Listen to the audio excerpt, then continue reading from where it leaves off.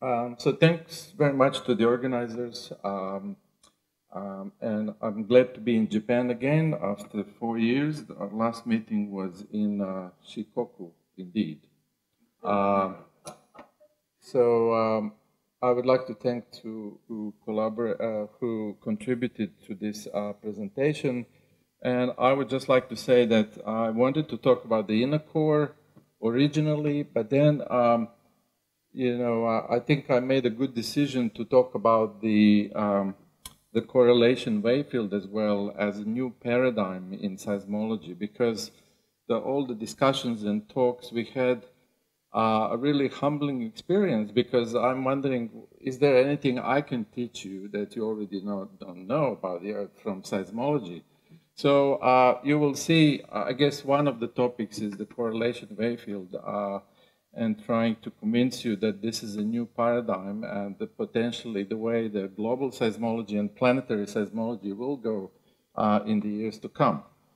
Um, so um, I would like to convey uh, from a seismological perspective uh, that uh, the deeper, Earth, deep Earth's interior is difficult to study because of uneven volumetric sampling. So we have to be innovative, we have to be industrious with the data that we have.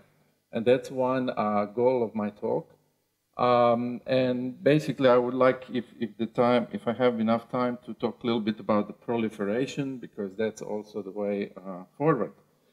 Um, so uh, then Bill came and, and, and, asked me if I could uh, possibly talk about the Lowermost mantle. So now I have a really ambitious talk because I would like to give you a glimpse on the Lowermost mantle studies as well, uh, at least from the perspective of my group, but because we are trying to answer uh, some big questions, I think, I hope this will give you a feeling of what uh, seismologists do.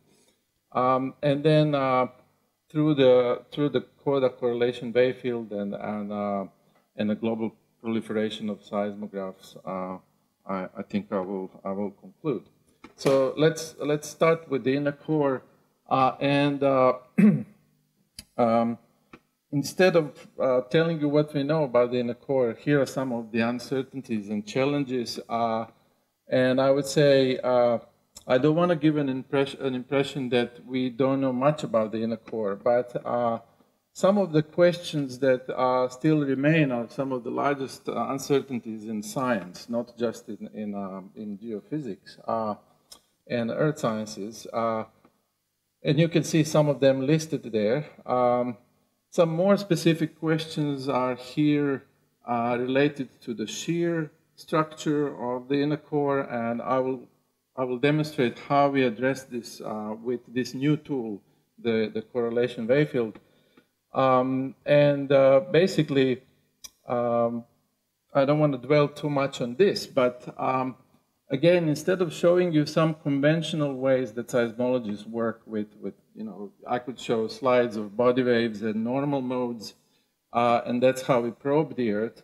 Uh, one of the one of the you know the common um, themes uh, in in uh, Earth sciences and particularly in geophysics here in my field is that we work uh, by using uh, inference. So uh, everything that we try to address is hidden deep beneath our feet. And uh, typically we do that through posing the forward problem first. So we have a model, we can compute some parameters, uh, and then we can compare it with the observations. If we are happy, we accept it. If we are not happy, then we go through another iteration, and that's referred to as an inverse problem. So you can do the inverse problem in a pedestrian way, but you can use more sophisticated tools, and I hope to demonstrate some of them today, especially through the Bayesian uh, inference, uh, where we also address uncertainty as an added bonus uh, to everything we do. Um, and talking about zoos, so this is our own zoo. We had a conversation uh, uh, during the lunch uh, time, and the purpose of this slide is not to uh, discuss each one of these models uh, of the inner core anisotropy, so different properties in different directions uh, from the point of view of seismic waves. Uh, the point is just to to show you the non-uniqueness that we are dealing with. Uh, if some people who were the authors of these models were sitting in the room, I'm pretty sure they maybe wouldn't recognize their own model.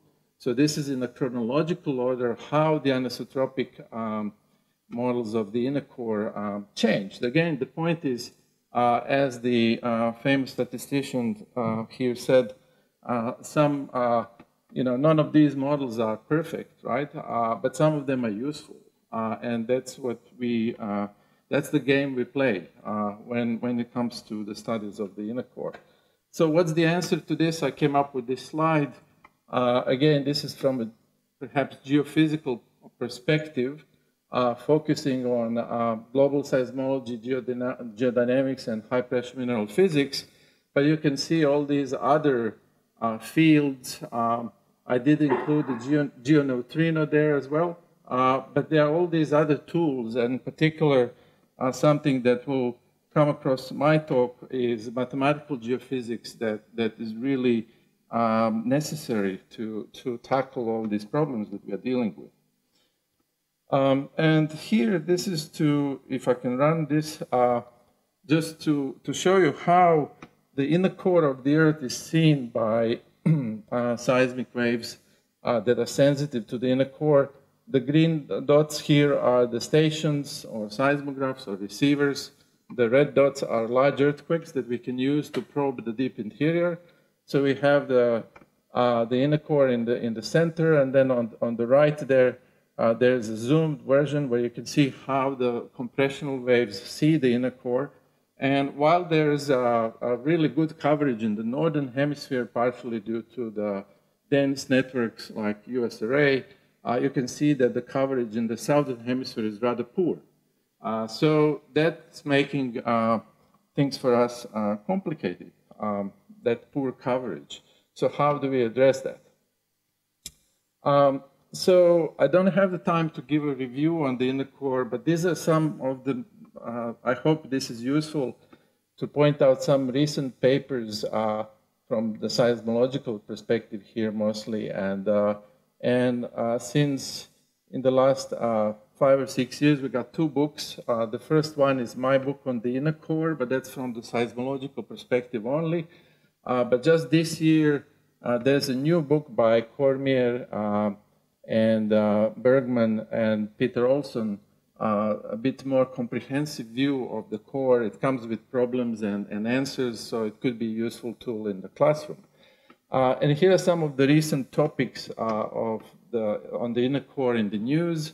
Uh, that's always busy, and you can see here uh, some um, excerpts from, from the news, superionic structure, differential rotation of the inner core, um, ab initio experimental studies, uh, shear waves, lopsided growth, uh, light elements, innermost inner core. All of these were present in the news uh, in the last several years. So I don't have the time to talk about all of this, but uh, let's take a look at superionic inner core. That's a recent paper. Uh, comes from ab initio molecular dynamic simulations. They use 64 atoms, and basically they use light elements like hydrogen and oxygen to to find uh, shear properties of the inner core that match seismological observations. So now one of the problems with these studies is that uh, really First, you need to really prove what the thermodynamical sta thermodynamically stable phase of iron in the inner core is. And the game they play here is they uh, raise the temperature above the melting temperature. Then they get the drop in the, in the shear modulus, and that can explain some of the seismologically, uh, seismological observations uh, but uh, the temperature is still above the melting temperature, and the inner core is not above the melting temperature. So that just illustrates one of the difficulties with, with these studies.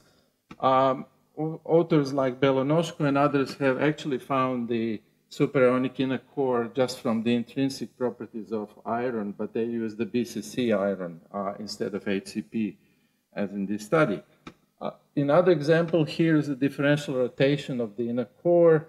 So for those of you who are non-seismologists or uh, maybe you hear this for the first time, it was found from geo, um, uh, the magnitude geodynamo simulations that uh, the inner core is uh, uh, differentially rotating with respect to the mantle. Then seismologists kind of confirmed that. Uh, but in this particular study here focuses on um, um, some data from nuclear explosions from the Cold War era.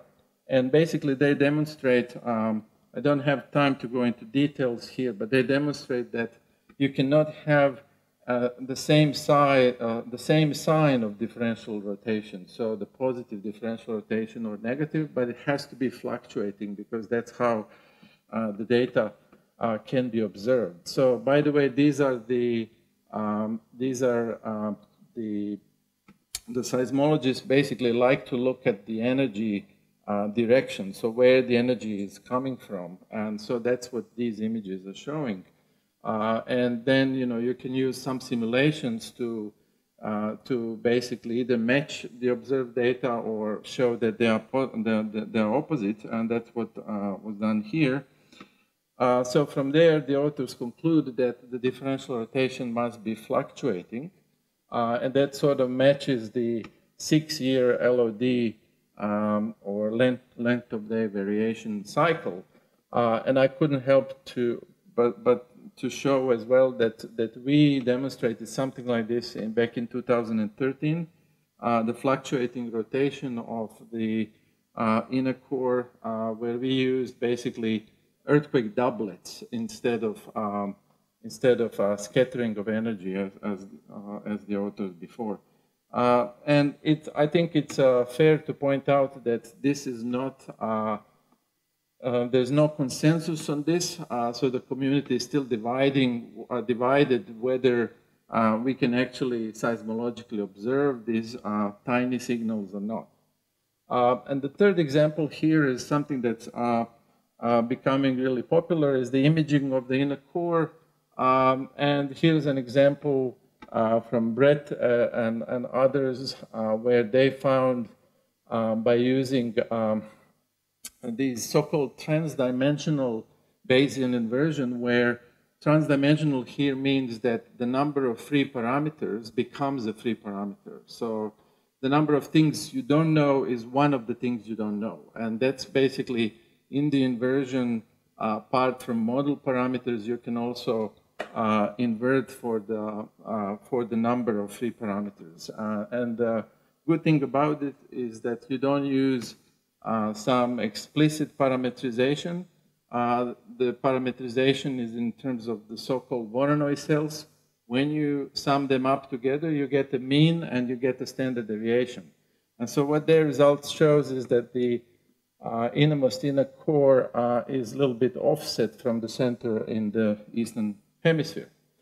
Um, so my group has done uh, this for the last decade or so in terms of uh, Bayesian transdimensional uh, and hierarchical inversions, where hierarchical here means that the noise in the data becomes the free parameter in the inversion itself. And that's because the noise is inherently, uh, the noise in the data is inherently related with the uncertainty, and that means with the model complexity. And so when we do these things as an added bonus, we also get the uncertainty. So what we found here is uh, uh, this is an example of the tomography of the inner core, but just its skin, just the top 50 to 100 kilometers. And we found some correlation between uh, the attenuation, which is shown in the left, and, and the isotropic velocity structure, which, which is shown uh, on the right. Um, we think that this, uh, these images might be an evidence of the inner core convecting, but this is this is still an unpublished uh, result. And these are just the uncertainties that, that I mentioned. And if you look at, for example, the right-hand side, uh, you can see the larger uncertainties in the southern hemisphere, and that's where our coverage is, is, is poor. Um, so what else have we done in the, in the, recent, uh, in the recent years? Uh, this is uh, the so-called neighborhood algorithm uh, it's a robust parameter search for the innermost inner core. Um, and what we found is that the, we confirmed uh, what was proposed at the beginning of the 2000s, 2002, 2003 by Ishii and Dziewonski, that uh, the inner core uh, has an inner shell, uh, the innermost inner core. It is not compositionally different from the rest of the inner core, but it has a different anisotropy. Um, and we confirmed by looking at this um, large data set, uh, which is called International Seismological Center data set. It's basically just travel times of the waves sensitive to the inner core. Uh, that we confirmed that the innermost inner part uh, has a different anisotropy than the rest of the inner core. And by doing some other uh, analysis, uh, we found that the, the transition to the innermost inner core is somewhere halfway through, around 600 kilometers. Um, and then using the, um, the high quality uh, waveform data, but these are the so-called antipodal data. So you have basically a source on one side of the Earth and 180 angular degrees away you have a receiver. And by, by, by looking at some new data, and so here my colleague Satoru Tanaka from Jamstec uh, installed this very important network in Thailand, for example, which contributes to the volumetric coverage. So by looking at these new data that were previously not available, we also confirmed uh, that the innermost inner core has a pretty strong anisotropy, which is different from uh, the rest of the inner core. And the slow axis uh, of the inner core is interestingly um, uh, in, in, oblique angles with, with respect to the uh, rotation axis of the Earth, right? So that's different from the outer part of the inner core, where the slow axis is in, is in the equatorial plane and the fast axis is uh, par parallel to the rotation axis of the Earth. Um, and perhaps uh, an independent uh, confirmation of the existence of the innermost inner core comes from the studies of uh, Vernon Cormier and, and his group, uh, where they look at the attenuation. And of course, we have an issue in seismology. We can't distinguish between, uh, between viscoelastic and scattering attenuation. Uh, that's true not just for the inner core, but for the rest of the Earth, including the crust. but when you look at the um, you know, there, are certain ways to, to, to address this problem.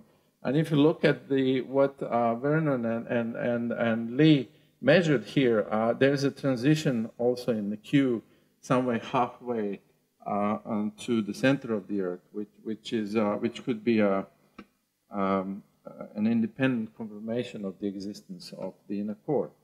In terms of the lowermost mantle, um, just to give you a flavor of the studies.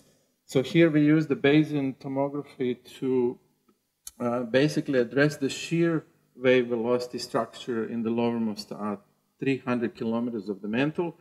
So the shear wave models are, um, they basically match each other much better. If you look at different people's models, which, which is, and different groups models, which is shown on the right, you can see that all of them look similar. But what we obtain here is a different heterogeneity spectrum. So we get a much stronger heterogeneity. So our model is shown here on the left. Uh, so you can see uh, the you you you can uh, you can uh, recognize the LLSVPs, but they look like they have an internal structure, uh, and that's what's different from some of these other models. Uh, we think that the reason why they look like they look is because they're overdamped. Um, and in the Bayesian transdimensional hierarchical approaches, you basically don't um, uh, you don't have to smooth or damp your matrix that you are inverting for, and that's one of the nice features of this type of inversion because the uh, our um, parametrization is not explicit. So our basis functions uh, can change their shape and size and the number. And our final image is basically derived uh, as a mean of all these um, um, realizations. Um, so basically, this is what we obtain for the shear wave velocity structure. Uh, when it comes to the P wave uh, velocity structure, this one is interesting because P waves, uh, or P wave models are not that similar to each other as the shear wave models. Uh, but in this study, we tried to address uh, jointly the topography and the, um, isotropic uh, velocity tomography. Uh, and what we found is that their, um, uh, their spectra, uh, if you look on the right-hand side, uh, so, the, the, uh, so the first one is basically the velocity mean, and the second one is the topography in, in kilometers. so our topography is plus minus 4.5 kilometers. And if you compare the two, they're not correlated. Uh, so what that means is that uh, the, the topography is probably not controlled by isostasy, but uh, rather dynamic uh, topography. Um, and secondly, um, you know, there was a study based on the previous um, results for topography that suggested that you need a low viscosity channel in the lowermost mantle. Now, with the amplitude of topography that we are getting, you don't need such a low viscosity channel uh, in the lowermost mantle, and that's just an example uh, of where this is useful. Uh, as a last example of the lowermost mantle studies uh, is something that we heard about today, ULVZs or ultra-low velocity zones. Uh, these are highly extreme seismological features uh, sitting on top of the core. Um, they are much smaller than LLSVPs, so they are basically just a few tenths of kilometers. Uh, and you have such a, extreme uh, drop in the shear wave velocity uh, that can be by 50% uh, compared to the ambient mantle and you have a density increase uh, to 30%. Um, so anyway, in this study that was published earlier this year, we found that, um, and I think the first talk uh, mentioned this study already. Uh, so we found that uh, through the ge geodynamic modeling with our collaborators, we found that uh, these um, the the ULVZs could be really the remnants of the um, the early differentiation of the basal magma ocean. Um, okay, so no time to uh, discuss this now. Uh, so I have to move to the correlation wavefield part. Um, and again, I apologize, I'll have to go through this quickly because of the time. But some of the terms I want to introduce to you is a coda, so similar like in the music. So what we do here, we, we, we basically get rid of the two to three hours after large earthquakes. We don't use that data at all. So what we use is over there painted in red. So basically from three to 10 hours after large earthquakes. Um, and then we basically use the cross correlation, which is basically measure of similarity. Uh, and finally, I will show you here uh, how we get these correlograms uh, as a final product. They are two-dimensional representation of the similarity uh, of the phases. And I, I, hope to illustrate that this is not the same as uh, what they do with the ambient noise on the surface of the Earth, right? So one of the basic principles of interferometry is that if you have two receivers, if you calculate the correlation for long enough time, uh, everything cancels except the structure beneath, uh, between these two receivers. So one receiver becomes the virtual source, basically, and that's shown there on the, on the far right. So I will show you that this is not true uh, for the body waves or uh, the, the, the, CODA correlation wave field. Um, and uh, so what we do is uh, we benchmark everything with the numerical simulations. So we use a global network of stations and the large earthquakes, uh, magnitude uh, six uh, or even larger than that. Um, and I will show you here how this correlogram or two-dimensional rep representation is calculated. So what you do first is you take two stations, like I did here, uh, and they are 15 degrees, uh, in this particular example, 15 degrees apart. So you calculate uh, based on one earthquake, you calculate uh, the correlation between these two stations. Uh, and then in the next step, um, basically you stack over all earthquakes so you, uh, and all pairs that are between 15 and 16 degrees for this particular example. And you stack them together. So it's a linear sum of all these uh, uh, amplitudes of seismograms. And then you paint uh, the positive amplitude is in blue and negative in red. you show it uh, uh, as a stripe on, the, on this 2D uh, representation, and then you repeat that for every single combination of receivers. And when you do that, you get the two-dimensional correlogram, which is shown there on the right. Um, so when we started doing this, we um, realized instantly that this is uh, uh, very similar to the uh, the existing, um, in, you know, travel time stacks uh, that, that are used in the conventional seismology, and they are shown on, on the far right there. Uh, but there are some differences, uh, in particular these um, non-causal phases or features that existed there that arrived before P waves. And so if everything is due to the uh, the so-called reconstruction of body waves through the inter interferometry principles, then we shouldn't get those features that are shown there on the, on the far right because they appear before P waves.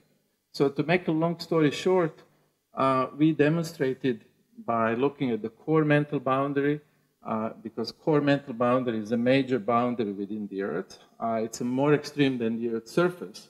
So when you do that, uh, you realize that the features that we see in the, in the correlogram are basically due to the similarity of S and P waves.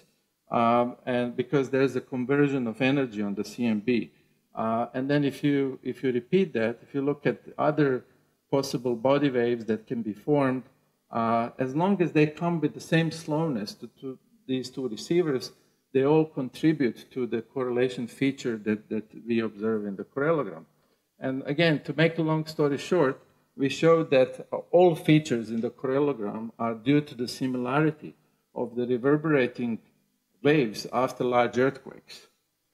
Um, and um, I will show you a few examples of how we used that. Uh, the first one was to demonstrate the solidity of the inner core uh, by finding the shear waves in the inner core. This is an 80-year-old problem it was considered as a, as a holy grail of global seismology to, to basically convincingly demonstrate that. And so what we did in this experiment is we changed the structure in the inner core, the shear wave structure in the inner core, uh, and then uh, you can see, uh, sorry, you can see here, if I can run this. So what happens when you change the shear wave, uh, velocity structure in the inner core you, you, you change some of this uh, correlogram. Of course, inner core is less than 1% volume. So when you make this change, you wouldn't expect that many things in the correlogram change, except those that are, that are sensitive to the inner core shear velocity structure. And that's shown there on the far right uh, in this window. Uh, B, ha you have a cusp of energy that changes in its direction. And this becomes a method basically for testing the shear uh, shear wave features in the, in the inner core. And by doing that and comparing with the observations, we, we basically demonstrated that uh, there's a 2.5 reduction, 2.5% reduction of inner core shear wave speed uh, with respect to the PREM model. Uh, and then we basically went further to first demonstrate that um, how these features are formed it's basically uh, through a superposition of many seismic waves that are similar that basically contribute to that peak in the correlation function. And we, uh, we showed that each feature can be basically, um, uh, can, can, be dissected to its constituents. And this is very similar to the normal mode theory in, in a way. Uh, and basically we demonstrated that what we hypothesized, how these features form, is actually true. So we can, we can uh, observe that. Um, we then demonstrated that, the, um, that you can use a single event instead of many uh, global events. You can use a single event to basically observe uh, or generate the correlogram. So this is what happened when you increase from about 100 stations to about 1,000 stations. You get uh, much clearer here picture of the, of the correlogram. So basically one event is enough. Uh, and that sort of um, proves that uh, all the features we observed in the correlograms are a result of the reverberating energy after a single event rather than some sort of miraculously uh, constructed body waves. Uh, and that's a long story, I, I, can return to that, but I just want to show you that we demonstrated uh, that uh, we can basically make a catalog of all these features uh, and, and explain how each one of them is formed. Um, and then we can use that to, so in this study we demonstrated principles how to use it in, a, in the global tomography. Uh, so basically in the global tomography, uh, in order to, to use what we found about correlation wave field, you need to understand how each of these features is formed. So you need to uh, define its kernel, but it's basically doable, uh, and you can apply it to the uh, compressional wave anisotropy as well. You can, you can apply it to the uh, shear wave. Uh, um, so you can apply it to the shear wave anisotropy, uh, which, which is what we've done in this study. So you can apply it to the whole range of methods that we use in the conventional seismology. So these are just some examples. I don't have time to talk about this, but um, uh, we, in the recent work, in the recent study, we basically applied it to construct a global model of the Earth. Uh, and this model is between 15 and 50 seconds, which makes it in between PREM and AK-135. So PREM is constructed from normal modes, AK-135 from, from body waves. Um, you can use it to study the outer core structure. And last but not least, uh, we have recently shown uh, that you can replace the locations of the receivers and the sources. So that means that instead of one source, you can replace it with the receiver. And instead of many receivers, you can replace it with many sources. So what that means in practice is that you can use it in planetary seismology in future missions to look at the interior of Mars, for example, because you can replace the InSight location with the virtual source. And all the Mars quakes that we observed, you can replace them with receivers to basically uh, to, to, to study the Martian interior.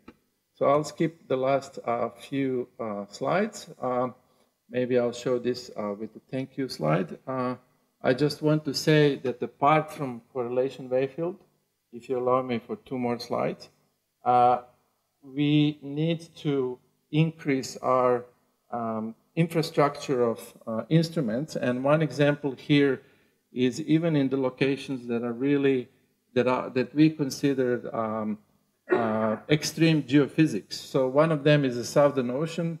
Uh, we went there uh, because uh, we went there to study large underwater earthquakes uh, that are not as associated with an active subduction.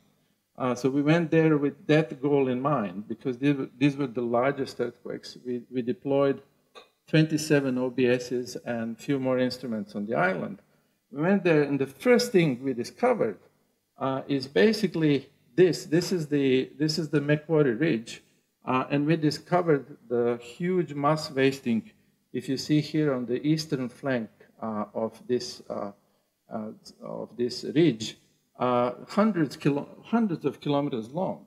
So we had to instantly change our motivation to, instead of studying these earthquakes that could be tsunamigenic, now we have mass wasting that could be tsunamigenic. Um, so uh, basically, uh, I hope that in this uh, limited time I had that I uh, succeeded to convince you that the correlation wave field is a new paradigm and that we are going to use it in the years to come, uh, including the planetary missions. Um, and basically, in terms of the uh, in, in, terms of general conclusions, I would just say that the inner core is still in the discovery stage, uh, which is pretty much in line with other conclusions that, that, that we had. But the image we are getting is, is, is uh, still blurry, but it's getting sharper. And it's basically, I like to think about the inner core as a planet within our own planet that's waiting to be discovered. So thank you very much.